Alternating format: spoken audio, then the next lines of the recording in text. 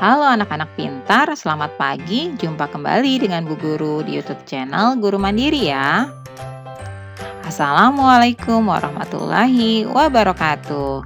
Pagi ini apa kabarnya kalian semua? Bu Guru harap dan Bu Guru selalu doakan kalian dalam keadaan sehat walafiat ya. Selalu bahagia dan selalu bersemangat mengikuti pembelajaran kita di pagi hari ini. Jangan lupa untuk selalu bahagia dan selalu bersyukur ya atas nikmat Allah yang telah diberikan kepada kita semuanya. Pagi ini Bu Guru akan memberikan materi untuk kelas 1, tema 4, keluargaku, subtema 1, anggota keluargaku, pembelajaran kelima. Adapun tujuan pembelajaran kita pagi hari ini adalah yang pertama, siswa dapat menyebutkan benda-benda yang berbentuk segi empat, segitiga, dan lingkaran dengan tepat. Yang kedua, siswa dapat membuat bagan silsilah keluarga dari bentuk segi empat, segitiga, dan lingkaran dengan tepat dan teliti, dan menceritakan anggota keluarga dengan percaya diri. Yang ketiga, siswa dapat menuliskan nama anggota keluarga salah satu teman dengan tepat. Nah, anak-anak, seperti biasa ya, sebelum kita mulai, marilah kita awali dengan pembacaan doa terlebih dahulu, agar kita selalu diberikan kesehatan dan juga kemudahan untuk memahami pelajaran yang akan diberikan oleh Bu Guru pagi hari ini. Anak-anak, perhatikan gambar berikut ini ya. Ini adalah gambar silsilah keluarga. Silsilah keluarga menunjukkan asal-usul dari keluarga kita ya.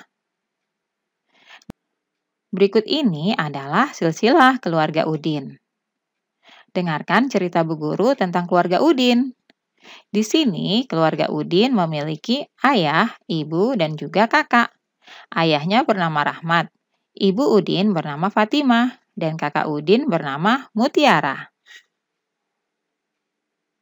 Nah, kalian buatlah bagian silsilah keluargamu ya. Kalian bisa contoh gambar berikut ini. Isilah nama-nama anggota keluargamu, ayah, ibu, dan adik atau kakakmu.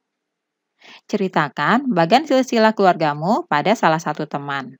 Kalian bisa ceritakan melalui voice note, lalu kirim ke ibu atau bapak guru kalian masing-masing.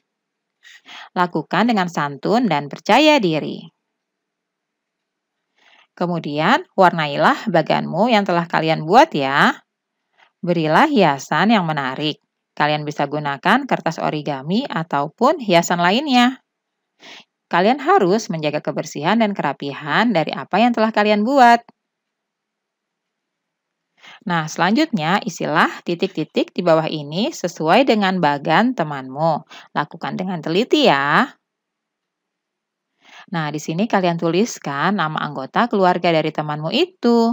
Kalian tuliskan nama temanmu siapa, nama ayahnya, nama ibu, nama kakak, dan nama adiknya. Kalian tuliskan dengan tulisan yang rapih ya. Kalian bisa buat bagian seperti ini, kalian lengkapi di buku tulis latihan kalian masing-masing.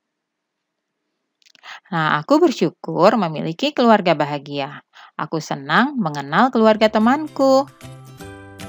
Alhamdulillah, pembelajaran hari ini sudah selesai ya anak-anak. Terima kasih sudah menyaksikan. Semoga bermanfaat untuk kalian semuanya. Jangan lupa tonton terus video lainnya ya di YouTube channel Guru Mandiri. Salam sehat dan selalu bersemangat ya. Wassalamualaikum warahmatullahi wabarakatuh.